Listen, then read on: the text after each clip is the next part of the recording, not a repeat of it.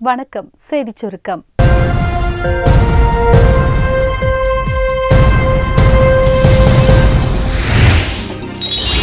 இது ஸ்கிரிப்ட்ல இல்லையே சோனியா ஷாக். காஷ்மீர் மசோதா விவாதத்தில் லோக்சபா காங்கிரஸ் குழு தலைவர் ஆதிர் ரஞ்சன் சௌத்ரி பேசும்போது ஒரு காமெடி நடந்தது. காஷ்மீர் பிரச்சினை இந்தியாவின் உள்நாட்டு விவகாரம் என்று இந்த அரசு சொல்கிறது. காஷ்மீர் குறித்து பாகிஸ்தான் புகார் கொடுத்ததால் ஐநா சபை கண்காணித்து வருகிறது.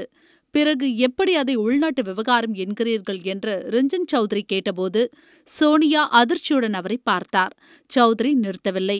காஷ்மீர் பிரச்சினை இந்தியாவுக்கும் பாகிஸ்தானுக்கும் இடையிலான விவகாரம் என்று அமெரிக்க அமைச்சரிடம் நமது வெளியுறவு அமைச்சர் ஜெய்சங்கர் சொன்னார். அப்படி இருக்கும்போது இது நமது உள்நாட்டு விவகாரம் என எப்படி சொல்ல முடியும் என்று எகிறினார் சௌத்ரி. சபையில் பயங்கர நிசப்தம். காங்கிரஸ் எம்பிக்கள் முகத்தில் ஈயாடவில்லை.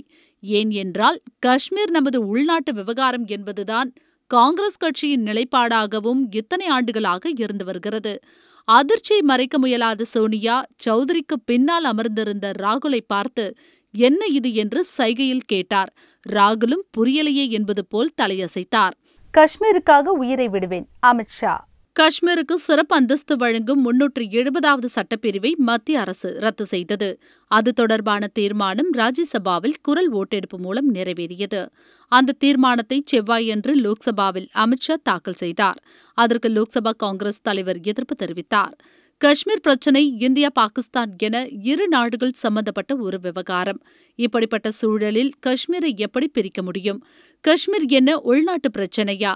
பாகிஸ்தான் ஆக்கிரமிப்பு காஷ்மீரை அரசு கருத்தில் கொள்ளாதது ஏன் என சௌத்ரி கேட்டதும் அமித்ஷா ஆவேசமாக பேசத் துவங்கினார்.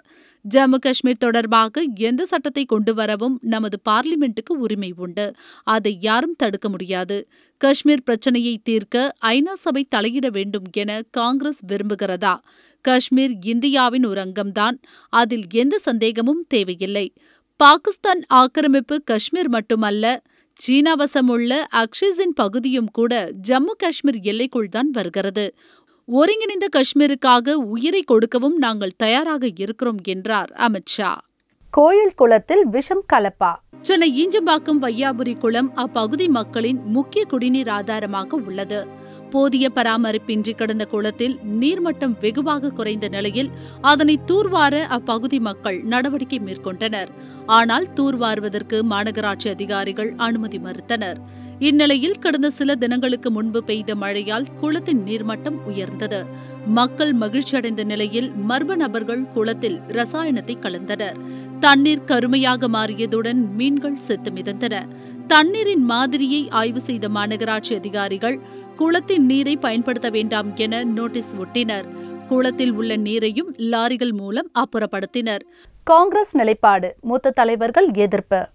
காஷ்மீருக்கு சிறப்பு அந்தஸ்து வழங்கும் முன்னூற்று எழுபதாவது பிரிவு ரத்து செய்யப்பட்டதை காங்கிரஸ் தலைமை எதிர்த்தாலும் அதன் பல தலைவர்கள் அரசின் முடிவை ஆதரிக்கின்றனர்.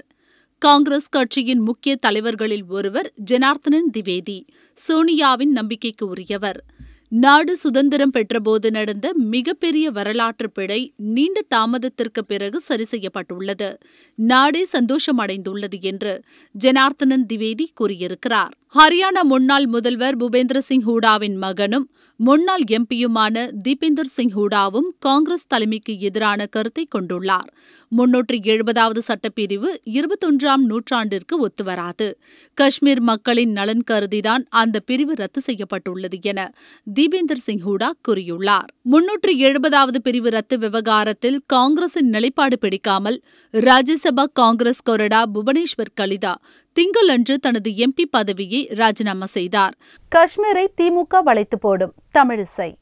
காஷ்மீரின் சிறப்பு அந்தஸ்து ரத்து செய்யப்பட்டுள்ளதை வரவேற்ற தமிழிசை காஷ்மீர் இப்போதுதான் சிறப்பான அந்தஸ்தை பெற்றுள்ளது என்றார். முன்னூற்று எழுபது பிரிவு ரத்து செய்யப்பட்டுள்ளதால் கார்ப்பரேட் நிறுவனங்கள் காஷ்மீரில் நிலங்களை வாங்கி போடுமே என்ற கேள்விக்கு கார்ப்பரேட் கம்பெனிகளை விட திமுகவினர்தான் காஷ்மீரை வளைத்து போட்டு விடுவார்கள் என்றார்.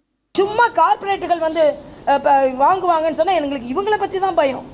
இவங்கெல்லாம் போய் நிலம் வாங்கிடுவாங்களோன்றதான் இப்போ எங்களுக்கு உள்ள கவலையாக இருக்குது திமுகவை சார்ந்தவர்கள் நிறைய பணங்கள்லாம் வச்சுருக்காங்க. அவங்க போய் வாங்கிடுவாங்க தான் பயமே தவிர கார்ப்பரேட்டுகள் வாங்குவாங்களான்னு பயமாக இருக்குன்னு தெரியல. இது போல் மேலும் பல செய்திகளோட அப்டேட்ஸுக்கு தினமலர் யூடியூப் சேனலை சப்ஸ்கிரைப் பண்ணுங்க. பக்கத்தில் ஒரு பெல் பட்டன் இருக்கும். அதையும் கிளிங் அப்படின்னு ப்ரெஸ் பண்ணிட்டு ஃபேஸ்புக் ட்விட்டர் இன்ஸ்டாகிராம் போன்ற சமூக வலைதளங்களையும் எங்களை ஃபாலோ பண்ணுங்க.